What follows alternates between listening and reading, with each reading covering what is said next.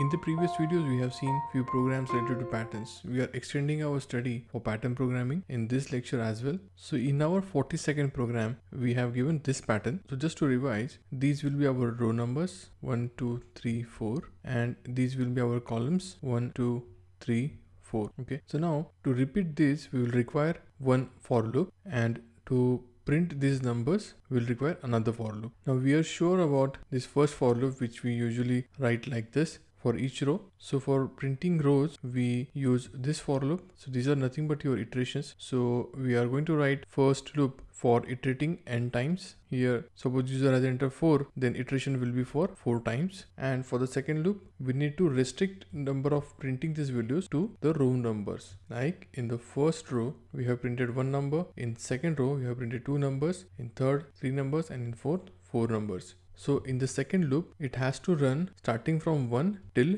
your row number. So I'm writing second loop j equal to 1 and condition will be j less than or equal to 1 and I'm incrementing j by 1 and inside of this loop we are just displaying value of j so that on every row value always starts from 1 2 and 3 and as soon as value of j equals i then this loop will be terminated and the controller will go on to next line because of this printf slash n statement. Once the row is printed value of i will be incremented and then the iteration will be continued for the next row. So let us see how output will be printed. Suppose user has entered 5 then this loop will go on for 5 rows starting from 1 till 5 so these 5 rows will be utilized for printing and hence in the first iteration. When i will be equal to 1 the condition will be true because 1 is less than 5 and the loop which is inside will execute for j is equal to 1 till j less than or equal to 1 so only for one time value of j will be printed which will be 1 and then cursor will move on to next display unit. Because of printf slash n it will move on to next line. Then value of i will be incremented to 2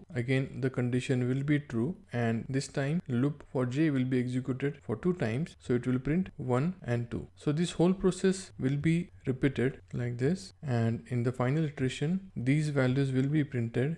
Cursor will be at this location when this for loop is completed and because of slash n it will move on to next line. At the end of this loop value of i was 5 which will be incremented to 6 and condition will be checked as 6 less than or equal to 5 which is a false condition. Hence this for loop will be completed and that will end your program